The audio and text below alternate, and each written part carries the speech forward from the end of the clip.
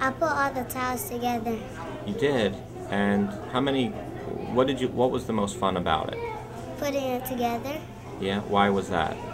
because it's your own piece of art. The first thing I did, I went and then I started um, gluing the tiles on. Because it's all gooey like Play-Doh. Cookie. First, it was little tiny pieces of tile, and we used mud like cement, and we placed it around um, in the mosaic. It's gonna they're gonna say that it's really nice Really? Why do you think that? because it's beautiful. I'll describe it that is like um, like something beautiful, like something that Picasso did.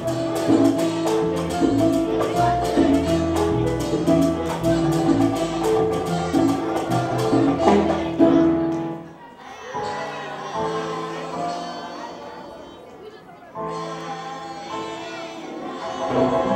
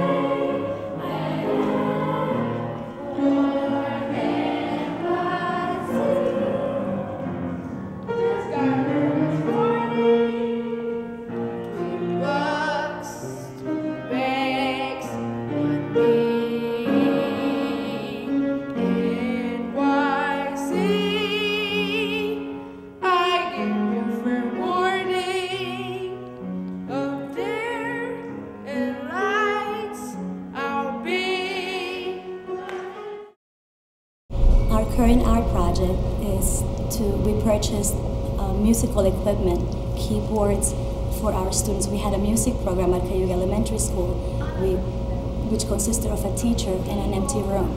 So now we actually have something to do with this empty room and the music teacher, and the children have something concrete to produce music with. We used our money to acquire uh, the Doc Gibbs Percussion Ensemble. And Doc Gibbs comes in with percussionists to work to do 45 minute workshops with the children. So they're learning drumming and African dance. with the entire third grade in small groups, and the children are going to design under her direction a mosaic mural, which will commemorate our school's 100th anniversary. The theme it's the past, the present, and the future. My project is Annie Jr., and with the funds that I've gotten from um, the Picasso project, I was able to buy the license to perform Annie Jr. at Austin Meehan Middle School.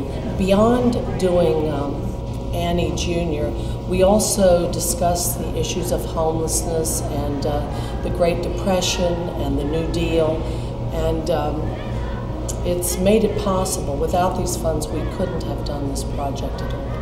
Art is very important, not just because it brings out the creative and it brings, brings somehow uh, a sense of unity in the children. They're always succeeding when they're doing art. The things that I stress at our school is performance and trying to make connections between the arts and what happens in the academic you know, classrooms.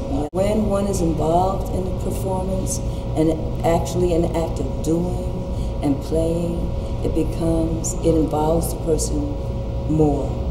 The children then become aware somehow that maybe this all does make sense.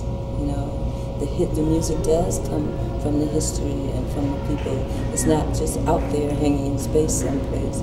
There is a reason. It's part of me, um, and I can be a musician, or I can be an artist, or I can act. The Picasso project has definitely made it possible um, to actually have this, um, you know, this mosaic and you know in our marble hallway and to bring in some residents um, to actually help out the students. And the students are excited. You know this week we have spring break and the students came in to actually work on some of their projects. Our students did a, a fact-finding mission of who was Frederick Douglass, and each one of them had to, each group had to come in with information about Frederick Douglass. I don't think these middle school age kids had had an outlet uh, for their creativity ever um, before you had come there. They're going to be in a production. There's something to go to go to school for that's fun, and you know they're going to get to show off to their parents what they can do.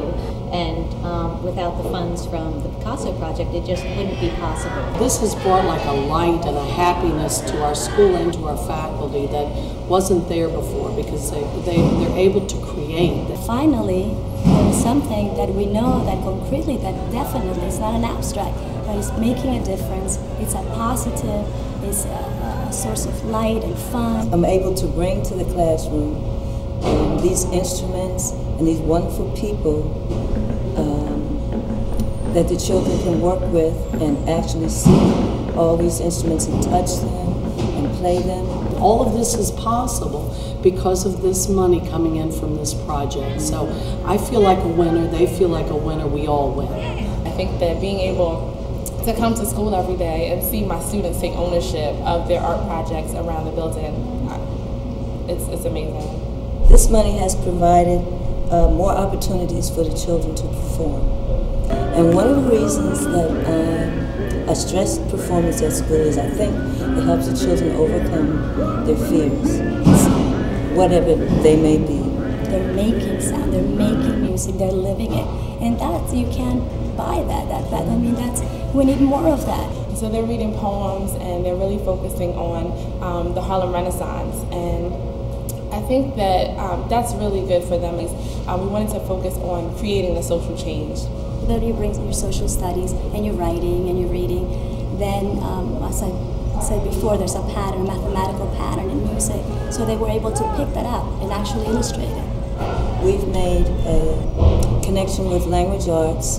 The children um, are doing storytelling with African instruments. The connections to the curriculum very strong. I think they're going to have to keep a journal and take notes during each alumni's visit. They are beginning to come out of themselves more and support each other more. Um, let me show you how to do this. Oh, come on, you can do it. I know you can do it. They feel like they're professional actors and actresses. So uh, they do show extraordinary kindness and consideration to each other. Their classmates are very supportive of their artwork and very supportive of their writing. And um, you know that's that's really difficult to come by when you have students who are interested in hearing what the next person is saying. One of my students, he's from Sierra Leone, just came this year, and a lot of things that they write about him and his brother, it's really go they go into detail what it means because we see they see it differently because of the warfare that's over there than what we you know experience. A lot of them are just really excited. Um, some of them never really looked at art as a way. Uh, our theme is resistance to the art, so they never looked at art. A lot of them as a way to beyond entertainment. They just looked at it, at it as, oh well, this is you know it's fun. It's now they're kind of looking at it a different way, like wow, I can people are listening to me through this. They're using the arts to say, you know what, this is how I feel about this particular issue in society. I've had a, a very uh, positive response from the parents uh, offering to help with certain things. We had a, a full house at our holiday concert. Last year for report card conferencing, we may have had 10 parents. This year we had 250 parents actually come to report card conferencing. And I really think that has to do with a lot of the different programs that we brought in the school and the fact that it's a pleasant place to be. And I think parents feel that. Art and culture are married. I mean, they're in, they are part of each other. They feel proud of their heritage. They feel proud of their friends' heritage. They feel proud. They can celebrate their differences and their similarities. It's no longer something to this is that, this is that. It's a wonderful blend. And projects like the Picasso Project are the ones that help to to do this. This is another way that they can grow with the music, with the art, so they can take a look inside themselves and see who they are. It was somewhat fun to help me. It helped basically all of us learn about the elders that we were working with. um, because the title was the friendship quilt. So basically, we use different shapes and different colors for the art. It taught me about like when we was at the Johnson House and the what was called the slaves used quilts to like help each other out. Like they would use quilt as a mat, like as a mat to help them escape or to get free or whatever. So it was like it was real educational and I liked it. It changed my outlook of what is considered art instead of just having that one genre of you know what I've what I've been taught as art. It opened math into art, opened other things, you know, other different forms of art to me.